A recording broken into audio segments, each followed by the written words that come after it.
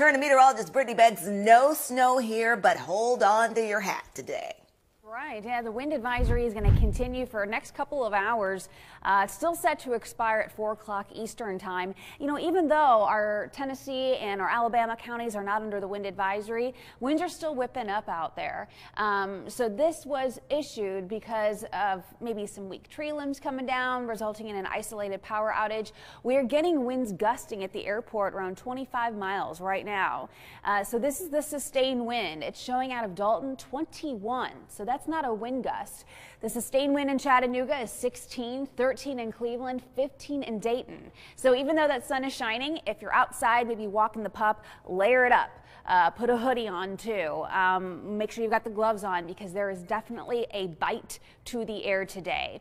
Here's the wind chill. Uh, we're getting better. Uh, we are. So that's the good news. It's 31 in Chattanooga, so we're almost at that 32 mark.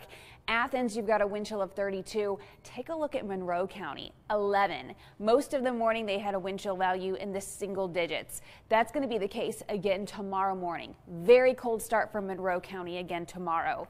Here's an hourly look for this afternoon. Putting us at a high of 44 today. We'll continue that sunshine. We'll continue that uh, those clouds breaking even in the higher elevations too.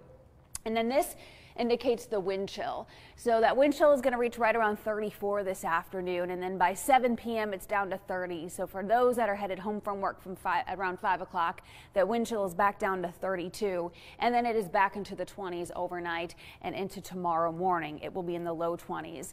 Uh, even though the wind won't be whipping up as much today, for tomorrow morning, the air temperature is going to be a couple degrees colder. This morning we stayed in the low 30s. Tomorrow morning we should drop to right around 20. 28, 29 degrees. You'll still need the whole nine yards today and again tomorrow.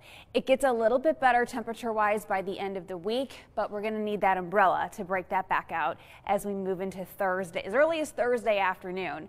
So I've had some new model data come down.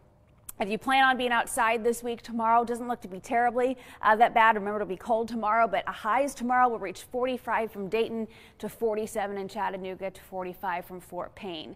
Uh, tomorrow, no issues in the weather department.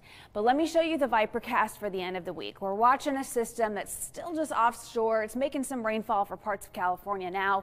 It'll reach us late in the day Thursday. The Vipercast is thinking Thursday right around noon. I think this is still a little early, but we'll be watching this, and I've increased our rain chance just a hair for Thursday during the day. Showers will move in from west to east. I think it's going to be too cold for any thunderstorms, so this is just going to be all rainfall here. As we move through Thursday afternoon, the Vipercast is thinking maybe in the higher elevations getting a little bit of winter weather here. I do think Thursday night the air temperature is going to stay in the 40s. So that will do us some favors. Uh, but Thursday, it could be a little bit more wet for our Tennessee counties. Moving through, this is, this is the 3K run. Here's our 15K. So it's just, it's the same run, just a different resolution. We see that rain picking up overnight. Now, with the actual frontal passage, here's 5 a.m. Friday morning, we might squeeze out maybe some flurries in the higher elevations, maybe from Dunlap and over Athens. The Vipercast is also indicating east of 75, maybe some very light snow accumulation from Murphy and over the Blue Ridge Mountains. This is Friday morning at 10 a.m. This is not all day.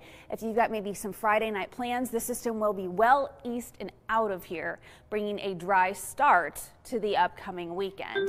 Sunday is going to be providing a little bit of a different scenario. There's your new seven day forecast uh, that I have tweaked just a hair from this morning.